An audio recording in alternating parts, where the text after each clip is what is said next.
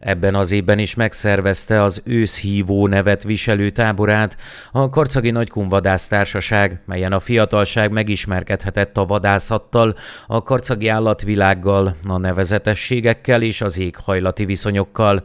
Több mint 30 gyermek vett részt a táborban. Huba Imre Csabát a vadásztársaság elnökét kérdeztük a részletekről.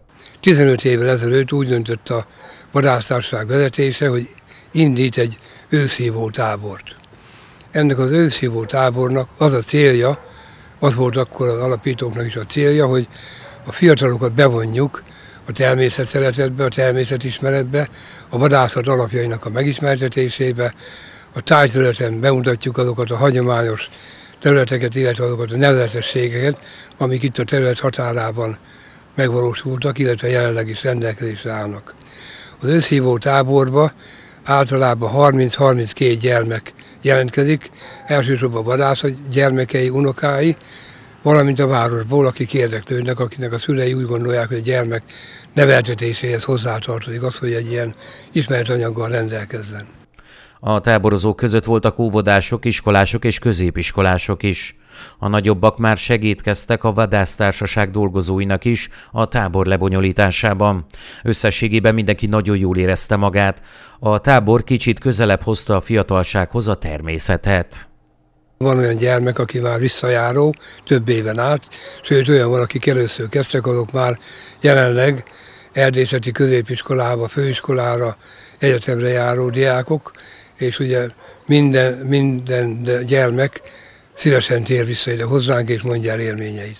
A gyerekeket legjobban érdeklik a növények, a rovarok, az állatvilág, az állatok, az őzek, a megfigyelések, és alkonyatkor a leseken történő mozgás, a, a, mit, mit tapasztalnak az életben, a madarakat, milyen madarak járnak, és milyen esetleg például teknősbéka, vagy, vagy éppen valamilyen más állatféleség, ami a vízen kint van, vízisikló, vagy például nyulak, madarak, akkor fácánok, hogy, nevezik a csib, hogy vezetik a csibéket a területen. Tehát minden, ami a vadászattal, természettel kapcsolatos dolog megvan, esetlegesen gyógynövények, miket lehet használni, mi, mire jó, illetve hogy lehet alkalmazkodni a környezethez, sérülésmentesen tudjanak hazajönni, illetve a táborban részt venni.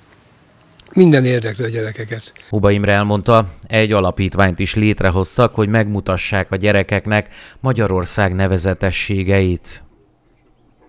Eldöntöttük, hogy egy alapítványt létesítünk, Fekete István alapítvány néven, ami kiterjed arra, hogy a gyermekeknek a, a foglalkoztatására, a bővebb lehetőségek birtokában elviszük el Dunántúl, esetleg éppen Fekete Istvánra, vagy Kesszeljen a múzeumba, vagy éppen a Balaton más részére, vagy más olyan jellemző pontokra az országba, esetleg Erdélybe, ahol sokat tudnak tanulni a gyermekek.